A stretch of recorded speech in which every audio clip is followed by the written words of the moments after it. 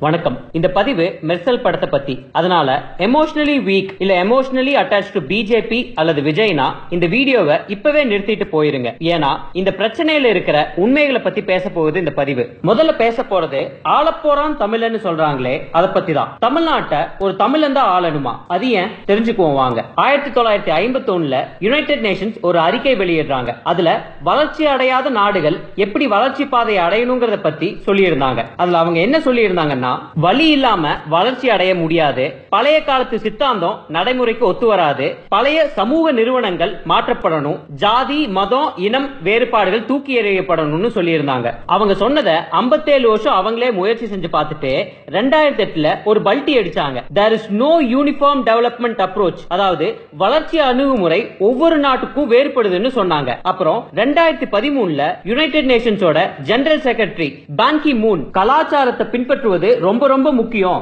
கலாச்சாரம் தான் ஒரு நாட்டை வளர்ச்சி பாதைக்கே எடுத்து செல்லும். கலாச்சாரத்தை பின்பற்றாத கணக்குல சேர்த்துக்காத எத்தனையோ வளர்ச்சி திட்டங்கள் தோல்வியில முடிஞ்சதுன்னு அவர் எடுத்து சொன்னார். ரெண்டாயிரத்தி பதிமூணுல யுனைடெட் நேஷனுக்கு புரிஞ்ச மாதிரி ஜல்லிக்கட்டு போராட்டத்துக்கு அப்புறம் தான் நமக்கு புரிஞ்சுது. விவசாயத்தையும் நாட்டு மாடுகளையும் காப்பாத்ததான் நம்ம முன்னோர்கள் பொங்கல்னு ஒரு பண்டிகையையும் ஜல்லிக்கட்டுன்னு ஒரு வீர விளையாட்டையும் கொண்டாடிட்டு வந்திருக்காங்க. அத்துணை அற்புதங்களை கொண்டது தமிழனோட கலாச்சாரம். இதை புரிஞ்சுகிட்ட ஒரு தமிழனா இருந்திருந்தா ஜல்லிக்கட்டு கண்டிப்பா தடை செஞ்சிருக்க மாட்டான். இதனாலதான் சொல்றேன் தமிழ்நாட்டை தமிழன் தான் ஆளணும். அது ஒரு சிறந்த டாக்டரா இருக்கலாம் இல்ல துடிப்பான டைரக்டரா இருக்கலாம் ஏன்? ஒரு சாதாரண இன்ஜினியரா கூட இருக்கலாம். ஆனா ஆள போறது கண்டிப்பா தமிழனா தான் இருக்கணும். மெர்சல் படத்துல சிங்கப்பூர் ஜிஎஸ்டியும் இந்தியாவோட ஜிஎஸ்டியும் ஒப்பிட்டு பேசியிருக்காங்களே. அதுல எவ்வளவு உண்மை இருக்குன்னு பார்க்கலாம். சிங்கப்பூர் சைஸ்ல பெங்களூரோடவும் சின்னது. பெங்களூரோட சரி பாதி ஜனத்தொகை கூட சிங்கப்பூர்ல கிடையாது. அவ்வளவு சின்ன நாடு. அப்படிப்பட்ட சின்ன நாட்டை இந்தியா மாதிரி ஒரு பெரிய நாடு நாட்டோட ஒப்பிடுறது மிகப்பெரிய தப்பு.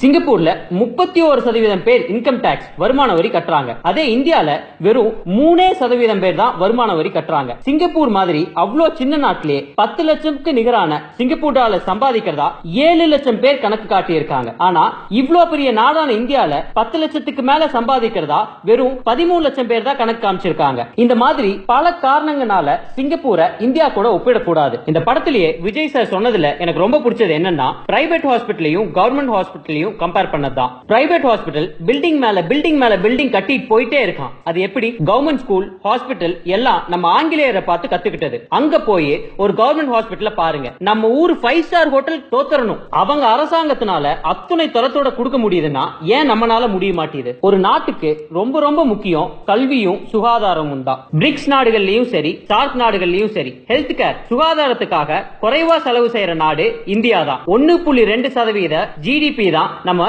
ஹெல்த் கேருக்காக செலவு செய்யறோம். அது ரொம்ப ரொம்ப ரொம்ப குறைவு. அதே மாதிரி பிரிக்ஸ் நாடுகள்லயே கல்விக்காக குறைவா செலவு செய்யற நாடும் இந்தியா தான். இது கண்டிப்பா மாறணும். காங்கிரஸ் டிஎம்கே கருத்து சுதந்திரத்தை பத்தி யார் யார் பேசுறதுனே விவசாயம் இல்லாம போச்சு. இப்ப பாருங்களேன் ஸ்டாலின் ஐயாவும் ராகுல் காந்தி எல்லாம் பேசுறாங்க. டூ ஜி ஊழலை பத்தி கத்தி படத்துல விஜய் பேசினப்போ கையாந்தக்கான்னு குதிச்சது திமுகவும் காங்கிரஸும் சோனியா காந்தி அம்மையார பத்தி தி ரெட் சாரின்னு ஒரு புக் எழுதி இருந்தாங்க அந்த புக்கை இந்தியால பப்ளிஷ் பண்ணவே தடை செஞ்சது காங்கிரஸ். உலக புகழ்பெற்ற சல்மான் ருஷ்டியோட சட்டானிக் வெர்சஸ் தடை செஞ்சதும் காங்கிரஸ். இது மாதிரி என்னால ஒரு லிஸ்டே சொல்ல முடியும். நாட்டு ஆள்றங்கிற பேர்ல நானூறு பில்லியன் டாலர் கடன் செஞ்சு வச்சுட்டு போயிருக்காங்க. கையெடுத்து கும்பிடுற நீங்க நாட்டை ஆண்டது போதும். பிஜேபி. தமிழ இந்த உலகத்துக்கு எத்தனையோ விஷயத்த கத்து கொடுத்திருக்கான். எங்களுக்கு நீங்க வந்து சொல்லும் போது சொல்றதுக்குன்னு ஒரு முறை இருக்கு. அதை முதல்ல கத்துட்டு வாங்க. மத பிரிவினையை இங்க உண்டு பண்ண நீங்க கனவுல கூட நினைச்சு பாத்துறாதீங்க. இந்த கட்சிகள் எல்லாம் ஏடிஎம்கே பார்த்து கத்துக்கணும். கிரைண்டர் மிக்சி இலவசம்னு எத்தனை வசனம் இருந்துச்சு. ஒரு வார்த்தையாச்சும் எதிர்த்து பேசினாங்களா? கத்துக்கோங்க. அவங்க உண்டு அவங்க உட்கட்சி சண்டை உண்டுன்னு எப்படி இருக்காங்க பாருங்க.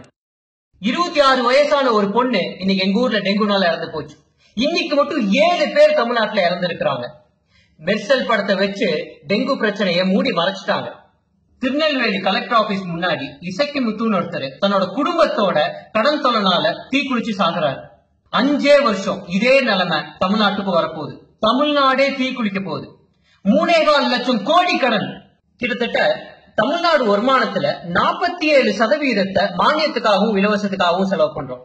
கடந்த அஞ்சு வருஷத்துல மானியத்துக்காகவும் இலவசத்துக்காகவும் செலவு பண்ணதை மட்டும் நம்ம கல்விக்காகவும் சுகாதாரத்துக்காகவும் செலவு பண்ணி இருந்தோம்னா உலக தரத்துல கல்வியையும் சுகாதாரத்தையும் கொடுத்திருக்க முடியும். எத்தனையோ குழந்தைகளை படிக்க வச்சிருக்க முடியும். எத்தனையோ பேரோட உயிரை காப்பாத்தி இருக்க முடியும். கடன் வாங்கி வாங்கி வாங்கி இலவசம் கொடுத்து கொடுத்து ஒரு ஒரு வருஷமும் வாங்கின கடனுக்காக இருபதாயிரம் கோடி வட்டி மட்டும் கட்டுறோம். கடனை திருப்பி கொடுக்கறவன் தான் வாங்குறப்ப யோசிப்பான். இவங்களுக்கு அந்த நினைப்பே கிடையாது. இவங்க ஊரு ஃபுல்லா பேனர் வச்சு குழந்தைகளை கஷ்டப்படுத்தி எம்ஜிஆரோட நூற்றாண்டு விழா கொண்டாடிட்டு இருக்கும் போது Andhra CM Chandrababu Naidu sir public சர்வீஸ்க்காகவும் economic டிரான்ஸ்பர்மேஷனுக்காகவும் கோல்டன் பீகாக் அவார்ட் லண்டன்ல வாங்கிட்டு இருக்காரு. ஊழல் அரசியல்வாதிகளை பார்த்தா எங்களுக்கு அப்படியே வெறுப்பா இருக்கு. எங்க அப்துல் கலாம் ஐயா சொன்ன மாதிரி பெரிய கனவுகளோடு நாங்க எங்க வேலையெல்லாம் தூக்கி வீசிட்டு இங்க வந்து ஒரு டீம் ஃபார்ம் பண்ணி அரசியலுக்கு வந்துட்டோம். எங்க கடமையை செய்ய நாங்க தயாராயிட்டோம். இத்தனை நாள் படிச்சவங்க அரசியலுக்கு வரமாட்டேறாங்கன்னு சொல்லிட்டு இருந்தீங்க. இளைஞர்கள் அரசியலுக்கு வரமாட்டேறாங்கன்னு சொல்லிட்டு இருந்தீங்க. நாங்க வந்துட்டோம். இனி மக்களோட கடமை தான் பாக்கி இருக்கு. நீங்க தான் எங்களுக்கு சப்போர்ட் பண்ணணும். முதல் முறையா என்னோட வீடியோ பாக்குறீங்கன்னா என் ப்ரொஃபைல் அசோக் ஸ்ரீநிதி வந்து பாருங்க. நிறைய வீடியோஸ் நீங்க பார்க்க முடியும். உங்க ஃப்ரெண்ட்ஸ இந்த கமெண்ட்ஸ் காலம்ல டேக் பண்ணுங்க. உங்க கேள்விகளை எங்க கமெண்ட்ஸ் காலம்ல போடுங்க. நாங்க பதில் சொல்றோம். மாற்றம் தொடங்கியாச்சு. வந்தே மாத்திரம். ஜெய்ஹிந்த்